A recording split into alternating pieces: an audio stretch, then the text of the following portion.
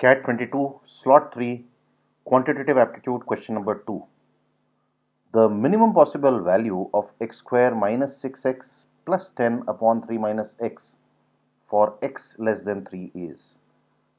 Now in order to solve such questions the first thing you've got to look at is what might be the value of this whole function for this range.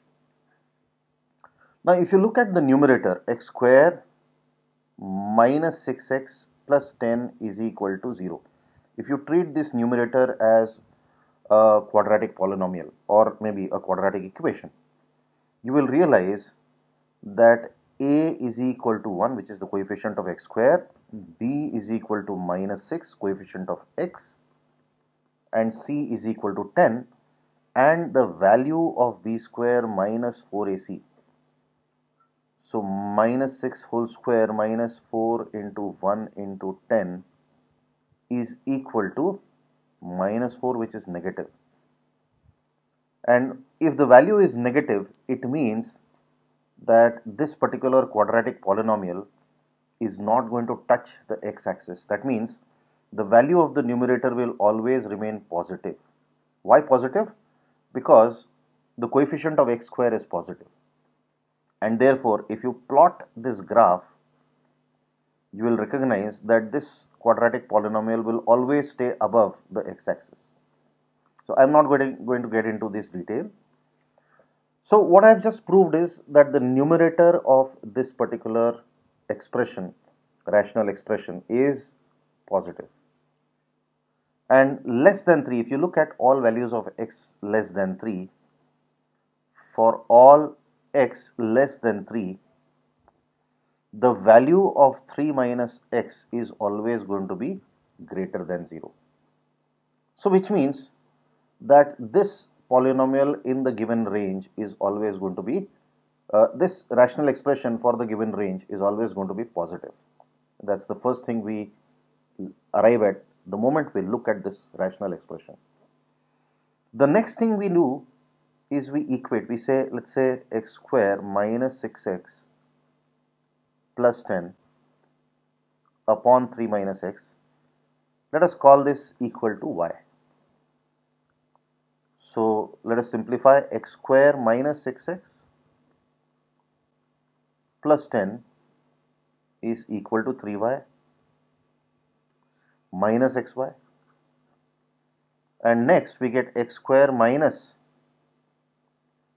x into 6 minus y plus 10 minus 3y is equal to 0. Now if y has to have real roots because you are in the options you see all the values are real. So if y has to be real that means if this expression has to be real it implies that y also has to be real and if the value of x has to be real what does that mean? Sorry, if the value of x has to be real, it means that b square minus 4ac must be greater than or equal to 0. So what do you get? Here the value of b is 6 minus y, in fact minus of 6 minus y. Value of a is plus 1 and value of c is 10 minus 3y. Just putting it as 6 minus y whole square minus 4 into 1 into 10 minus 3y. This should be greater than equal to 0. So the value of y should be greater than equal to 0. Only then, uh, in fact, this expression should be greater than equal to 0 and we need to find the values of y which will satisfy this. So what do you get? 36 plus y square minus 12y minus 40 plus 12y is greater than equal to 0 this cancels out. And finally you get y plus 2 into y minus 2 is greater than equal to 0